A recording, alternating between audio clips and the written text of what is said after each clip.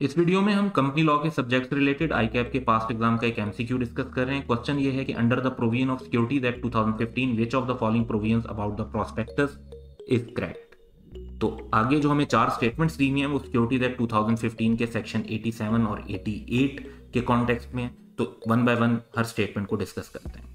पहली स्टेटमेंट है listed company intends to issue shares of its associated company by way of special dividend, the company is not required to submit the prospectus for the commission approval.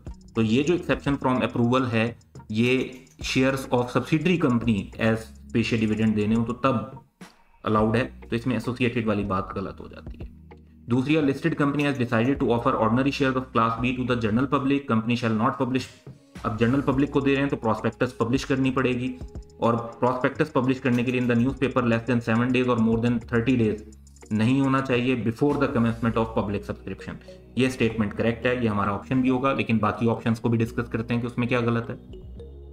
Option C है कि a person except a director और officer of the company shall be deem to have committed an offence if he make the false और fictitious application in connection with the prospectus तो section 87 में ये कोई exception नहीं है कि director और ऑफिसर का को जो है ना ऑफेंस नहीं होगा, सबका होगा डायरेक्टर और ऑफिसर का भी होगा।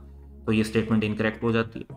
फिर shelf prospectus approve by commission shall be valid for a period of sixty days normal prospectus sixty days के लिए होती है। शेल्फ प्रोस्पेक्टस तो मल्टीपल टाइम यूज़ हो सकती है।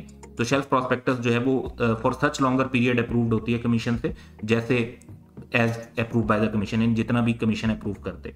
तो ये भी स्टेटमेंट गलत हो जाएगी। तो हम ऑप्शन बी को सिलेक्ट करेंगे। Have a good day